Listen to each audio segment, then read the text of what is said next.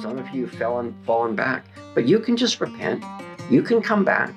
God will receive you, but you need to be separate from sin. You need to not act like the world. The world and the lusts, it's all coming to ruin, and everyone connected with it. You need to live separate. You need to live holy. You need to live in a consecration of mind and heart and body where your life belongs to Him.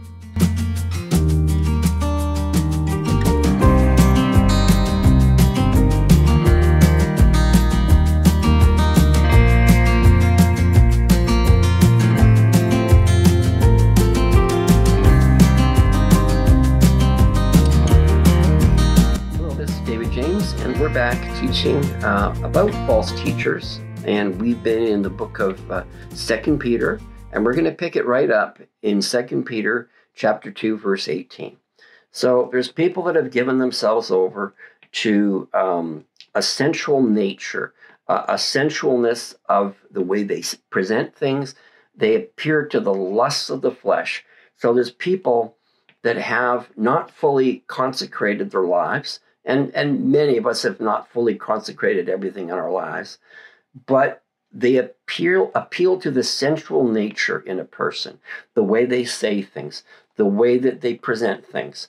Now it says here, for when they speak great swelling words of emptiness, they allure through the lusts of the flesh, through lewdness. It's not a word you hear often these days, lewdness. Ones who have actually escaped from those who live in error. Let's read that in the uh, Passion. This is 2 Peter 2:18 in the Passion. They spout off with their grandiose, impressive nonsense. Consumed with the lust of the flesh, they lure back into sin those who recently escaped from their error. So, people that have recently escaped the um, the contamination of this world and its lusts and its evil can be um, prey for those that are walking and living and preaching this way. They promise others freedom, yet they themselves are slaves to corruption. Have you ever heard of preachers that have been preaching against this and for this and all about this, only to find that you know, they've been having an affair with their secretary or choir director for the last several months or years and have divorced their wife publicly and seen nothing wrong with it. Has that ever happened? I don't know. They are, for people are slaves to whatever overcomes them. So they become a slave to that thing that's overcome them. And those that hear them, they feel that they have license to walk in what they see being presented to them. So a leader who walks in sin and lasciviousness and unrestraint, I love that word lasciviousness, I'm not going to lie, is unrestrained passion and desire that has no borders. That's my definition. Unrestrained passion and desires without borders. That's lasciviousness. So that's how they rope people in. They make them think that this is okay you don't have to be afraid of this because everyone has desires. Everyone has lust and passion. Don't let that restrain you. Just be all that God has made you and don't look down upon those things and the emotions that are inside. Yeah, see, this is all unrestrained. The Bible teaches very clearly to be restrained and to walk in a sanctification that means you set apart yourself for God. You don't set apart yourself for anyone or anything else except God. So you are restrained in your emotions, you're restrained in what you see. You have borders about what you allow or don't allow. This is how you stay clean. This is how you stay pure. This is serious. And people go to hell over this. They go to hell because they believe the wrong thing. They think that they're getting by with something that God isn't even looking at. They think it's just okay. It's just great. In fact, He celebrates your human nature. No, He doesn't. He wants you set apart for Him, He wants you sanctified and separated for His purpose. Now, verse 20 Those who escape the corrupting forces of this world system through the experience of knowing about our Lord and Savior, Jesus the Messiah, then go back into entanglement with them and are defeated by them, becoming worse off than they were to start with. So you can gain a freedom only to go back into it if you don't lock yourself into truth. This is why it's so important to gather around people that love God and love the Word of God. If you're in a group of people in a fellowship, in a church, around people that don't love the word, that don't push like, oh, God's word and l- the love of God's word and prayer and, and a worshipful attitude and, and, and a separation for the things of God. If you're not around people like that, please find them. Do every ask the Lord to show you where they are and and and and, and to, to direct you, to protect you, Lord. I pray that you're protected from these things and just start to walk in some wisdom. If if if it looks like it's evil, it's probably evil. If it looks like a duck and quacks like a duck, as they say, it's a duck. And you're going to be the dinner though.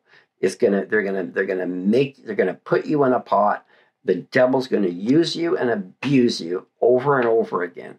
You need to find out for yourself what the word says because it's what he says that matters. Don't be lured away into things that are not expressly uh, spoken of in Scripture, that are permitted, that are holy, that are good, and that are pure. Stay with that. You should all be very familiar. We're not doing it now. Second Peter chapter 1. You should know Second Peter chapter 1 like the back of your hand because this is how you're going to stay clean. Now, they go back into entanglement with them and are defeated by them, becoming worse off than they were to start with. It would have been much better for them to have experienced, to never have experienced the way of righteousness than to know it and then turn away from the sacred obligation that was given to them. You, when you come to Jesus, you have a sacred obligation, which is when He called you, He separated you from the herd. But once you're separate from the herd, you're to learn to look to Him for where the grass is, where the water is, where the food is, where the pen of protection is. All of the, the, the, the things where your good shepherd wants to shield you, guide you, and lead you into are there only when you look unto Jesus, the author and the finisher of that faith. You may have been taken out of the world, but you need to stay out of the world. So there's a sanctification that you need to learn to walk in. There's a separation of your life that needs to be real. It needs to be, you need to be separate from the world. You need to be, look different, act different, talk different than the world. Now, verse 22 when you give yourselves over to these things and don't give yourself over to God properly, you become illustration of the true proverb. A dog will return to his own vomit, and a washed pig to rolling in the mud. Some of you fell and fallen back, but you can just repent. You can come back. God will receive you, but you need to be separate from sin. You need to not act like the world. The world and the lusts, it's all coming to ruin and everyone connected with it. You need to live separate. You need to live holy. You need to live in a consecration of mind and heart and body where your life belongs to Him. What He says is real to you. That's what you need to walk in. Now, verse chapter 3 verse 1 we're in second peter and we're going to read from the passion again. Beloved friends this is now the second letter i have written to you in which i've attempted to stir you up and awaken you to a proper mindset. This is what we're talking about a proper mindset that's consecrated that's set apart for him So never forget both the prophecies spoken by the holy prophets of old and the teaching of our Lord and Savior spoken by your apostles. Above all, you must understand, mm, above all, that in the last days, mockers will multiply, chasing after their evil desires. They will say, So, what about this promise of his coming? Rapture of the church. Rapture is not even in the Bible. Second coming. Everything is continuing just like it always was. Our ancestors are dead and buried, yet everything is still the same as it was since from the beginning of time till now. Nothing ever changes. Yeah, tell that to the first flood victims. But they conveniently overlooked that from the beginning, the heavens and the earth were created by God's word. He spoke, and the dry ground appeared, separated from the waters. Then, long afterward, he destroyed that world with a tremendous flood by those very waters. And by and now by the same powerful word, the heavens and the earth are reserved for fire. Actually, th- this world is going to be renovated by fire one day. Actually, the whole heaven and earth will be renovated by fire, renovated, made pure again. But right now, everything's being reserved and kept for that day of judgment when all the ungodly will perish. Well, they'll they'll perish, but that's another story.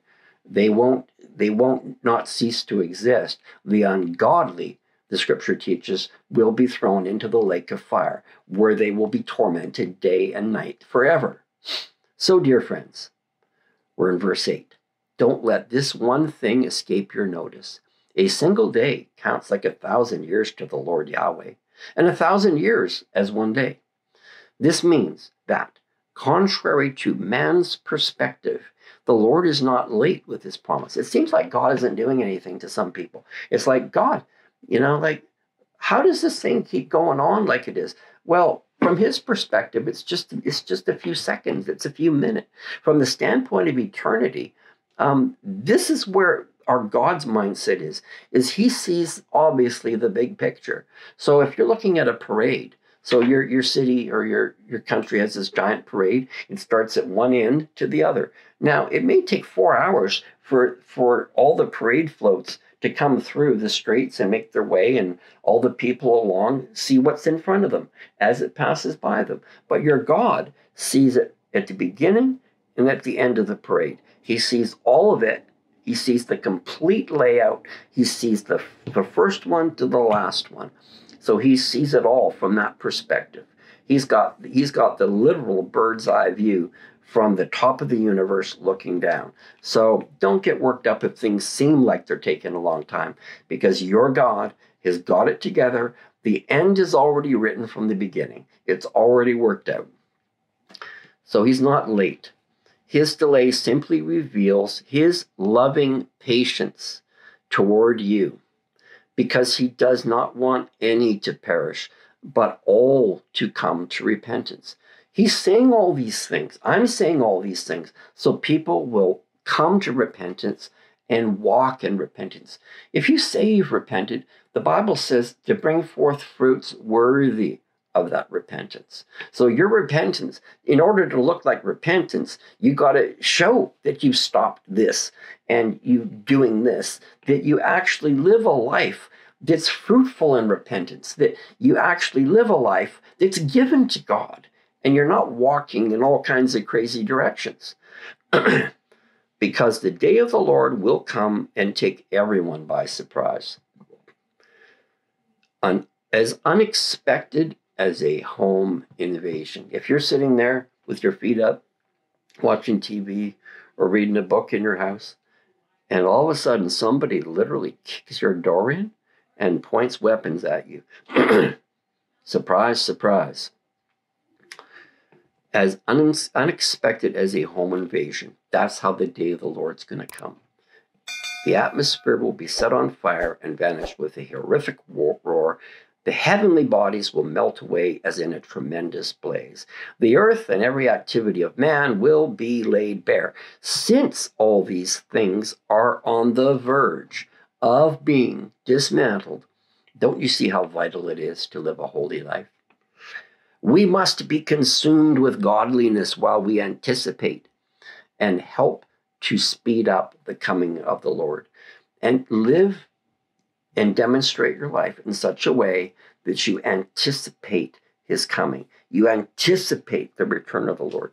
Even if the Lord doesn't come in your lifetime, you're going to meet him sooner than later because it doesn't take long to get old. I remember when I was four years old, I remember things that happened when I was four years old. I'm 64 now. It doesn't take long. You see all these markers in your life and you say, wow, I remember that like it was yesterday. I remember the details of this, what I was thinking, and how I was feeling. You know what? Now's not too late. If you're still watching, if you're still breathing, give your life to God. Separate in separation to live a life that's holy and set apart for Him. We're going to stop it right here. We're going to keep going and we're going to continue to finish up Second Peter 3 and we're going to get into the book of Jude. Thank you so much for watching. I'll see you on the next one. Bye for now.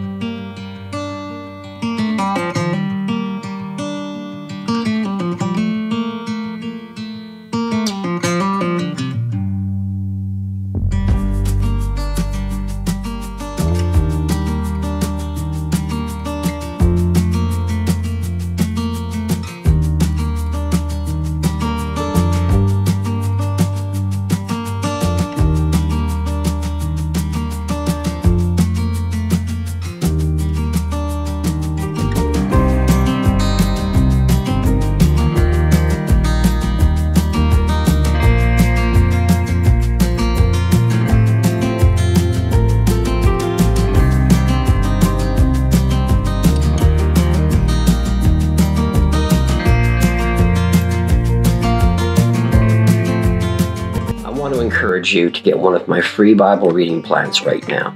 It's a free download at thrivingintheendtimes.org. There is a 365 day plan. There is a 180 day plan. There is a 90 day plan. And what makes these plans so exclusive is you read from one of three different sections of the Bible every day. So you start in Genesis, Psalms, and Matthew. You read through each section to the end of it. And by the time you get to the very end of your section, you're done and you read the Bible through in 90 days, you read it through in 180 days or 365 days. This will make the Word of God and reading it um, not a dread, not a chore, but something that you're excited to do, where you can get the entirety of God, God's Word in you right now. You can do it. You can start right today. Get your free download now is you read from